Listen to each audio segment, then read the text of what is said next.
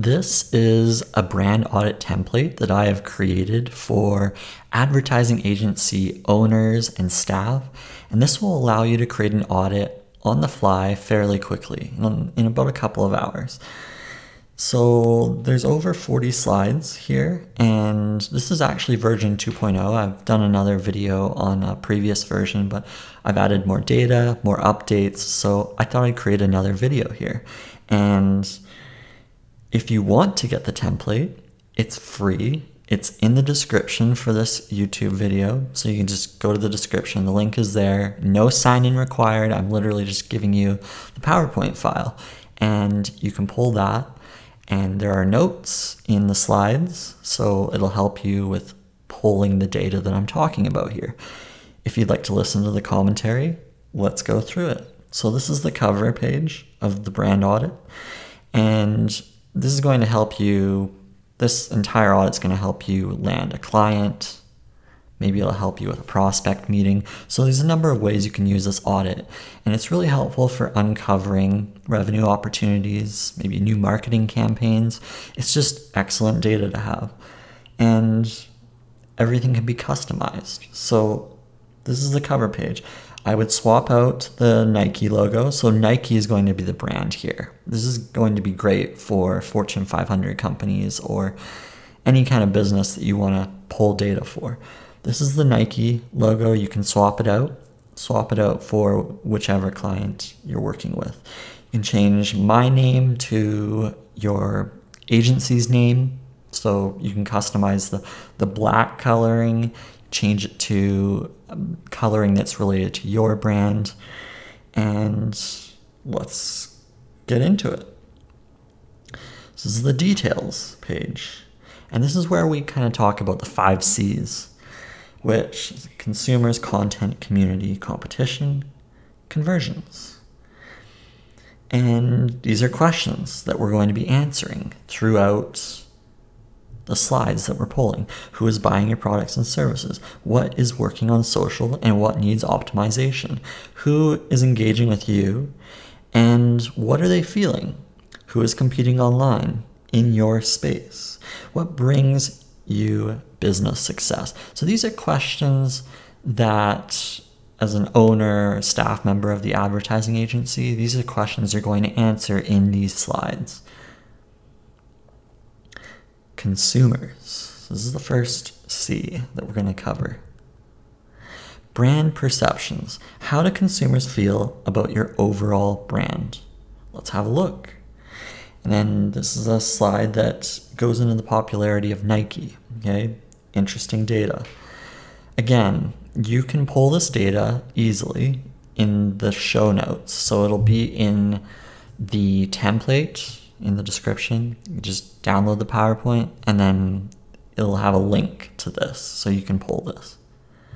Then you have demographics. Again, more data.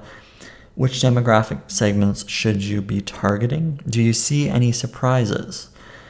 This is incredible professional data that you can easily pull. And again, nothing requires a login. You can pull everything just by typing in like the brand name or even the brand's website that you're auditing. So nothing requires this expensive monthly fee. So if you're a new agency owner, this is going to be helpful. Even if you're an established agency owner, this is going to be tremendous data and maybe something you can add to your audit, right? Then you have consumer interests. Are your products and services aligned with the interests of your consumers? And then, you know, we're looking at hiking as the top fitness activity for people who like Nike. Oh, that's an interesting segment. Maybe you can create a campaign around hiking. Nike has maybe an opportunity there. And some of this data is kind of surprising. I would think that running should be higher. But again, maybe this is an opportunity that's untapped. So, something to consider. Popularity. This is like a Google Trend graph, so you can get this from Google Trends. It's consumer interest around the brand in the past 12 months. What content can be created to spark conversations?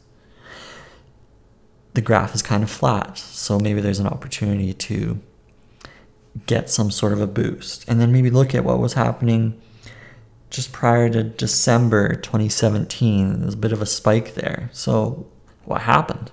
Something to look at. Again, you might be talking to a marketing team and they can pull the data. So, you, you'd be having a conversation, right?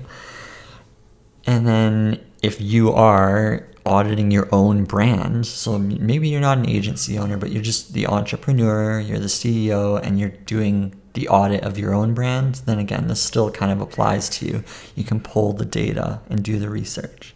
So here's consumer search. These are the most searched topics and queries related to the brand. Again, Nike footwear, I'm not surprised that that's up there. Nike Air, not surprised that that is right up there. Those are pretty huge segments for Nike. I'm just going to go back here. So you can actually look at the ones that are number four, number five, and maybe look at, oh, maybe there's some opportunities here. Or even like Nike factory store. Oh, wow, there's a bit of a bit of activity there. Maybe something to talk about in a meeting. Maybe there's a, a campaign that you could do around Nike factory stores, okay? Because again, you're looking at opportunities for revenue growth.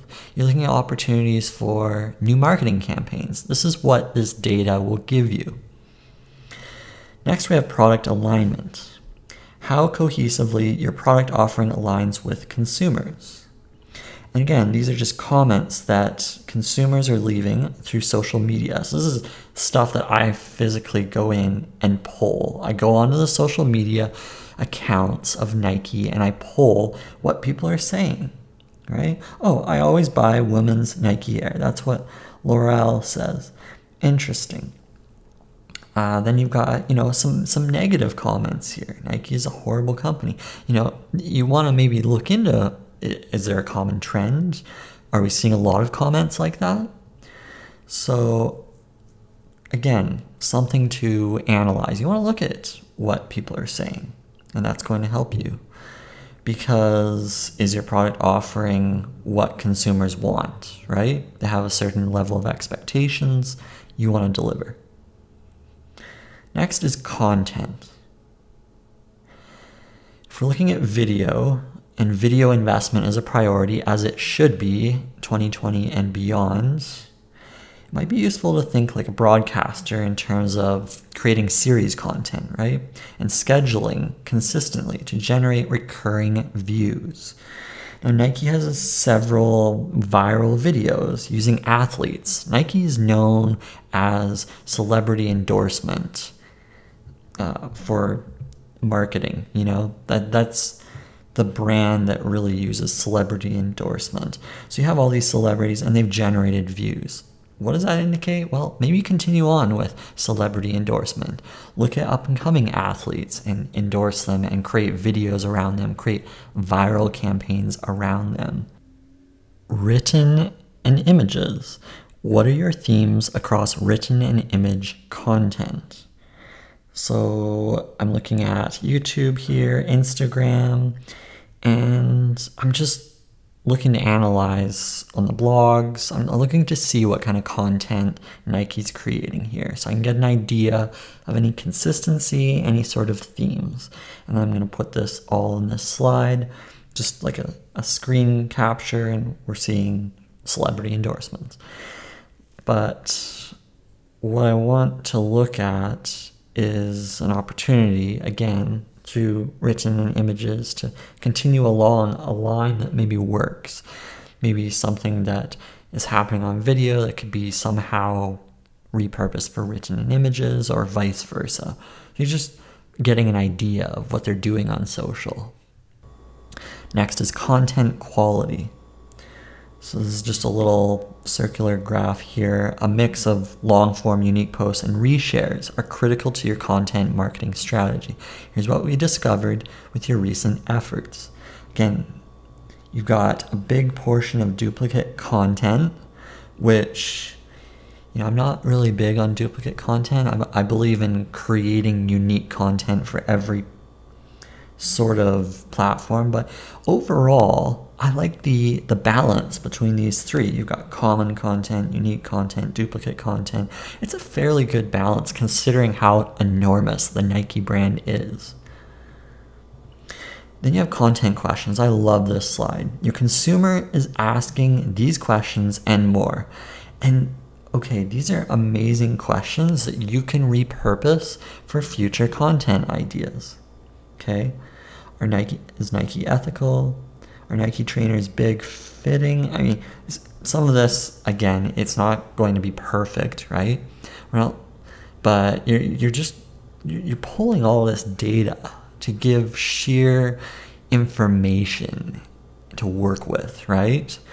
Uh, this abundance of information you can kind of pare down and say, hey, here are the different content pieces that we can create.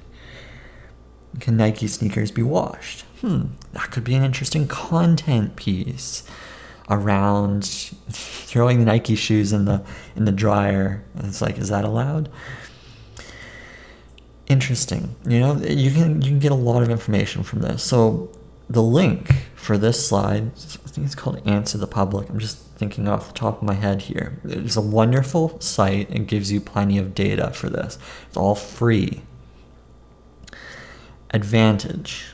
What makes your content stand out from the crowd? Advantage is really important. It's like your unique selling proposition honestly, when I think of Nike, I'm thinking of big athletes and victory and winning, and that's really what it's all about. And no other brand do I associate with top end athletes like like I do with Nike.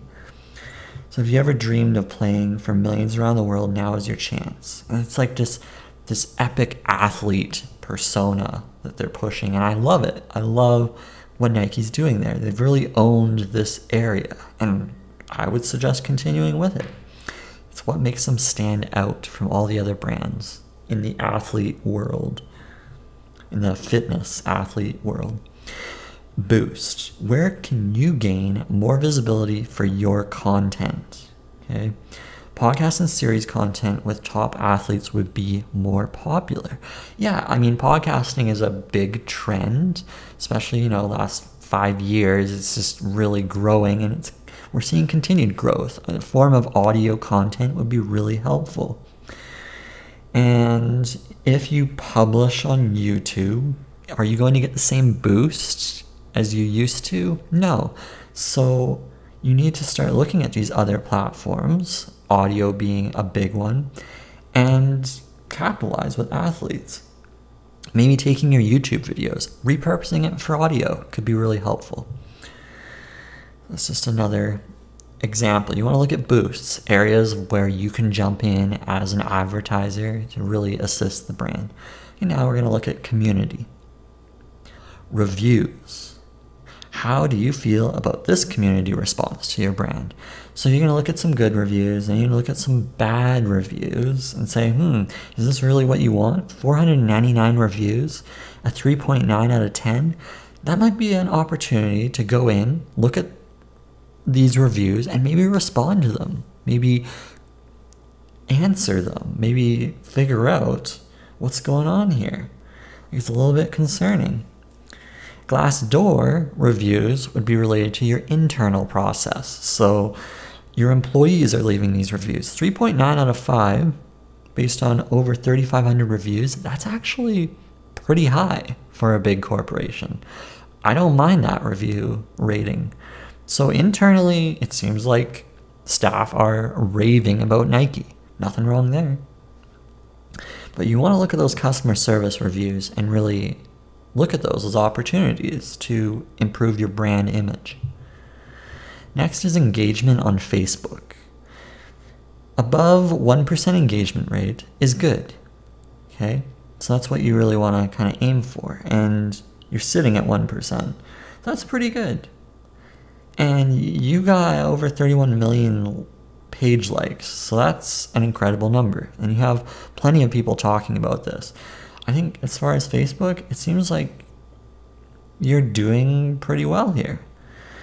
And maybe you want to look at what's going on with your Facebook account and saying, hey, what's working here that we can use on other social media platforms?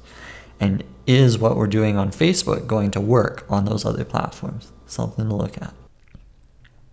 This is the Instagram engagement rate calculator. An engagement rate between 0 and 1.64% is considered to be low. Interesting. Nike is 0.66%. So it's a bit low. We want to get above 1.64%. And you know, Instagram is a little tricky because engagement these days isn't as good as it used to be. So a company with a low rate on Instagram could expect between 0 to 16.4 reactions for every 1,000 followers. So engagement rate engagement rates between 1.64 3.48 are considered to be good. You know, we should be aiming for like 3%. This is where you could go in, analyze their social media and say, "Hey, this is what you need to do for your Instagram. This is how you're going to get more engagement." Why? Cuz look at the percentage that Adidas is doing or look at the percentage that somebody who's doing really well. Like you could you could duplicate this slide and then bring up a competitor such as Adidas or Under Armour and say, look at their engagement rates and look at what content they're doing, right? You can always just expand this audit. You want to get really competitor analytical, then you could do that. So that's engagement rate. Top influencers. What are you doing to maintain relationships with your top influencers? You've got Cristiano Ronaldo on the top, and you have Foot Locker. Uh, what's going on here? What are you giving them? What are you working towards in terms of a partnership here? Word clouds. Executives love word clouds. So, again, these are word clouds. And again, you can pull this data from the notes in the slide, okay? And you can get this fairly easily. So you've got shoes is the common one, no surprise there. Then you've got Adidas mentioned there, so there's a competitor thing right there. Maybe you want to look at what Adidas is doing and figure out how you can kind of take away their shine. Sentiment. And this is a really interesting graph on feelings from the Twitter community. You got lots related to excitement. You have relaxed, serene. A lot of it seems fairly positive, and away from the other side, the left side's like tense, depressed. Most of the dots are away from that, so I think that's a good, that's a good thing to mention. Social shares. What are your expectations for share count? Right now, you've got over 403,000 total shares mm-hmm. the majority is basically all of them from Facebook. So, again, something to look at. Maybe you could do something with Pinterest and Reddit and LinkedIn, you know?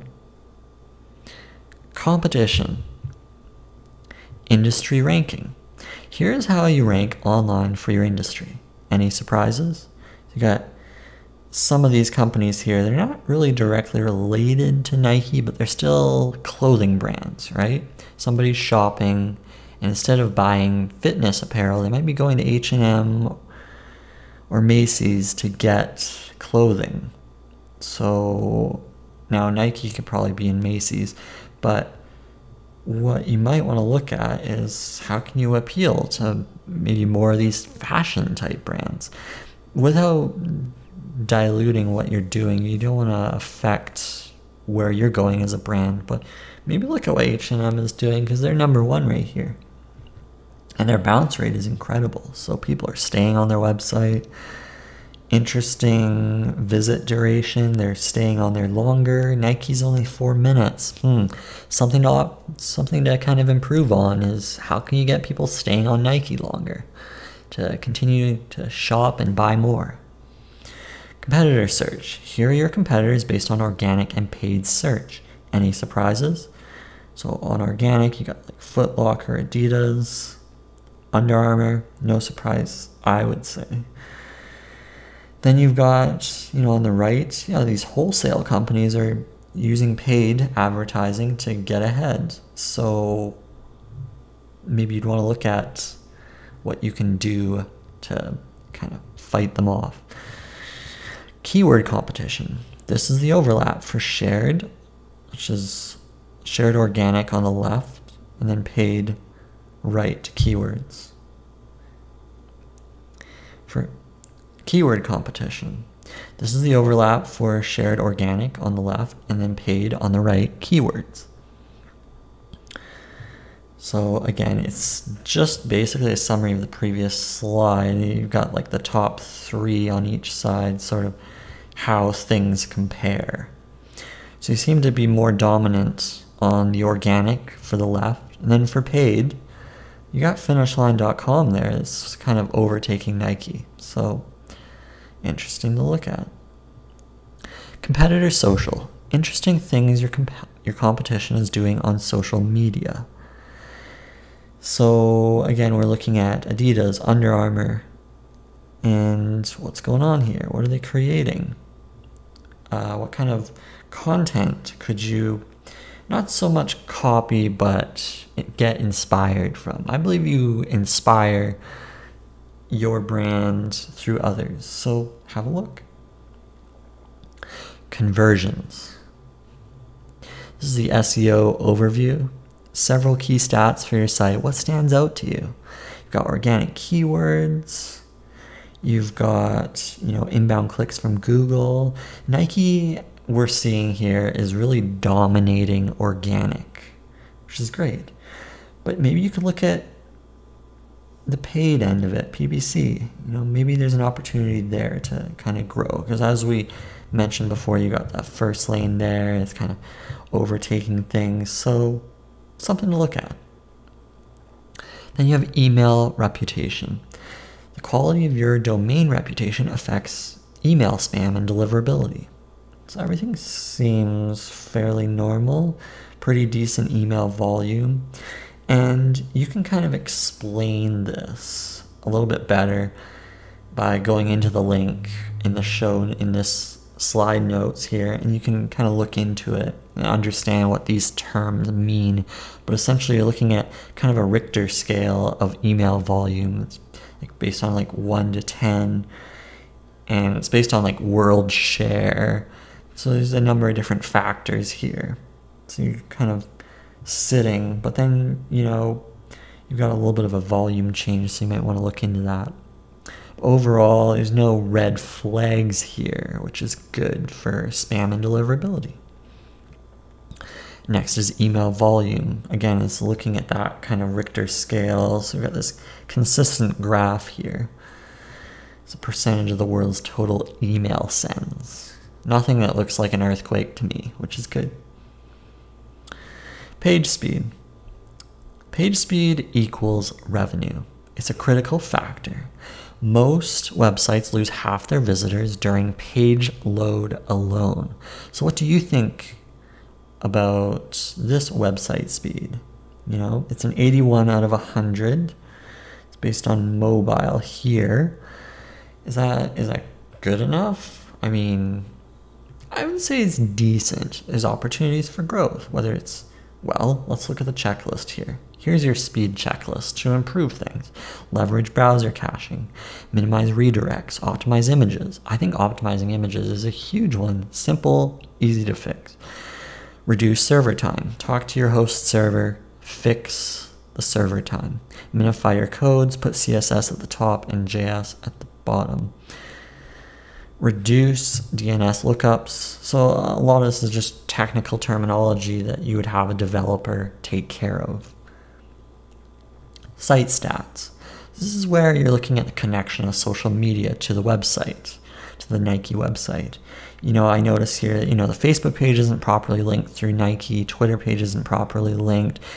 Printability, if somebody wanted to print a Nike page, and which actually could be very common for e-commerce. You could have a, maybe an elderly person that wants to print a page to review. So no printability. So you can actually adjust that with a line of code. No analytics setup, and then meta tags. There's a few opportunities here to improve the connectedness. This all has an effect on your ranking.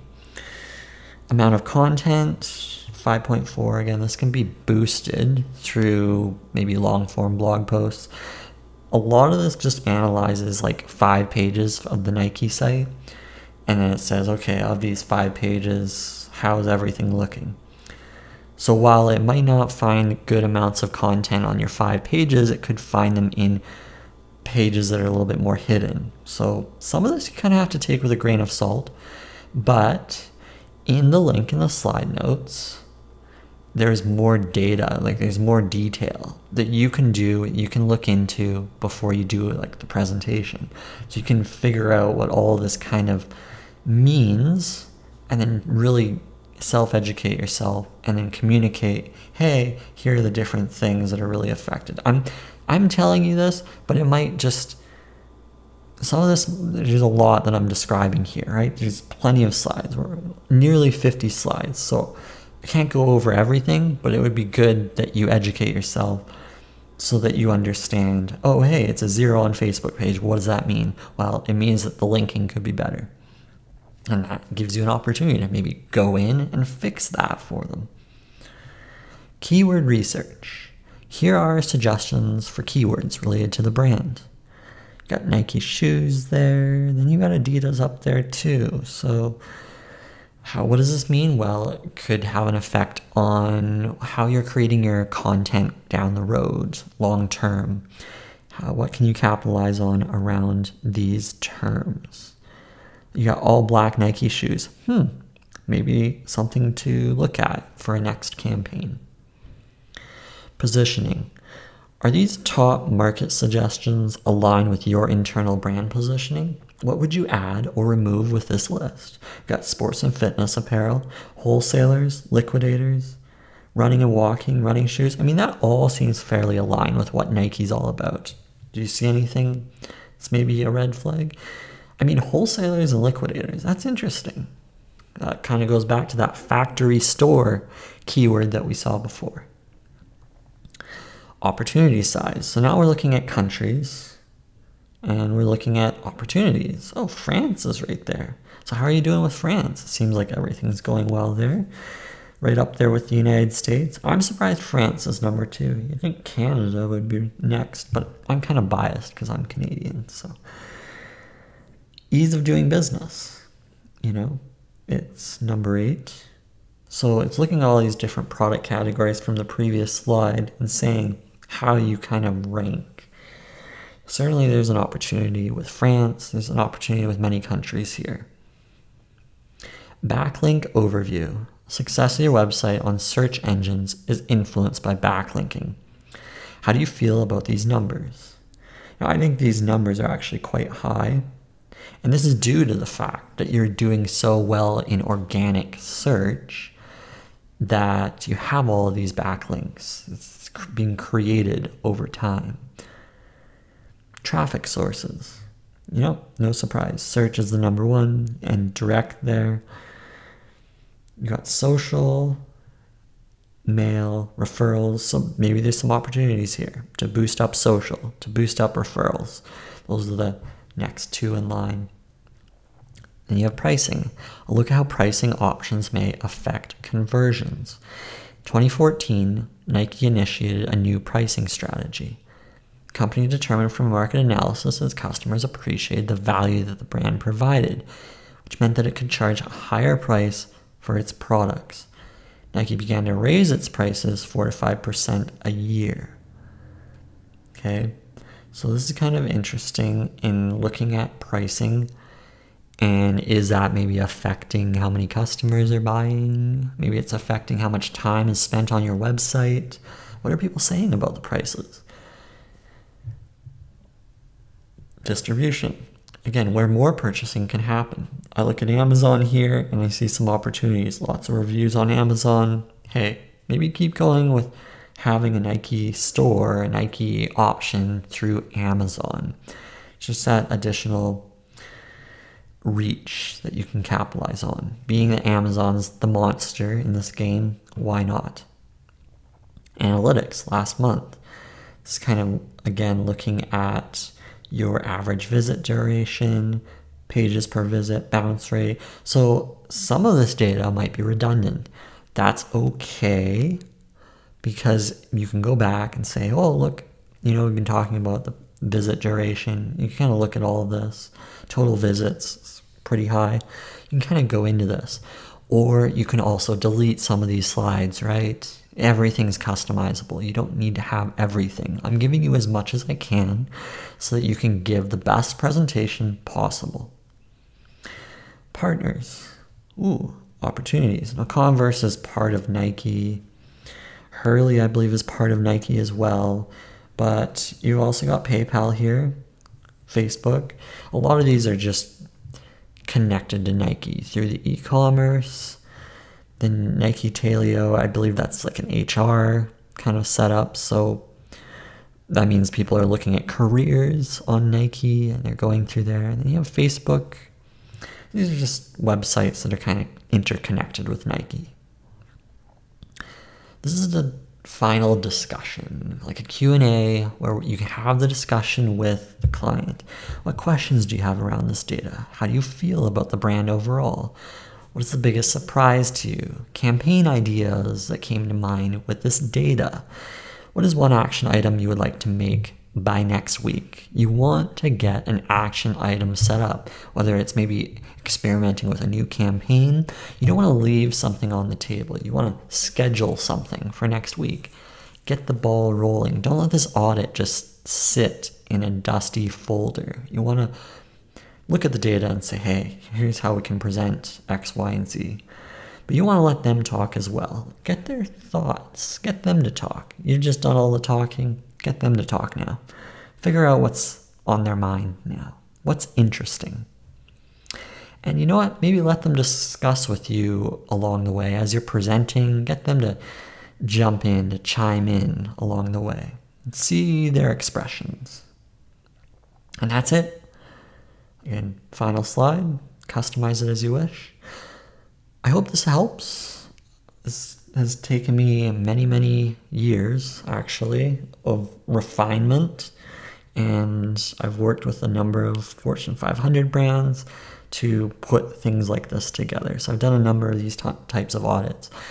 There's no right or wrong way to actually do an audit. What I've noticed with advertising agencies is everyone has a custom way of doing it. So that means you're basically putting this data together and giving an amazing presentation filled with data that is actionable, right? That's essentially what you're doing.